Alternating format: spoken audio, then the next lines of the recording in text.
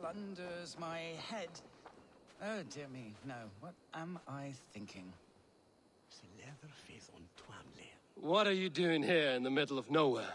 Ah, a visitor for Chad the Bewilderer, the most radiant and rakish riddler. Do you have the wits to best me? There is cake in it if you do. For cake, I will answer any mind tease you have for me. My head is forged with the hammer, hurt with sharp tools, smoothed by files. I take in my mouth what is set before me.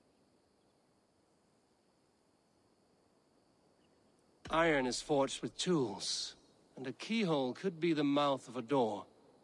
A lock and key? Wonderful! Your wit sparkles. But still, another one. With my roof of tears, I am driven far and wide on my avenging path. When I shake the forest, I rumble the fruit from the trees. Rain covers the earth like a roof, and the rumble of thunder and lightning can shake acorns from a branch. A storm. You are brighter than the sky lantern. I saw a strange thing, wonderful of shape, singing in a tavern. Its beak underneath stood upon splayed legs that cannot walk. Something that sings. A musical instrument. The bladder that whines and wheezes through pipes. Bagpipes. Your wit outshone my words, and such a feat deserves three cakes. But unfortunately, I do not have any. So the cake was a lie? Do not pout.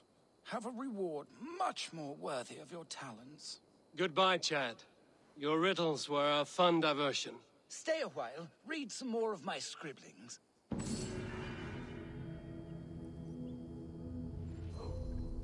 I do not get many visitors. Your presence sparked my mind. We will rest A soon rare thing out here. That broke the Ushal to so there.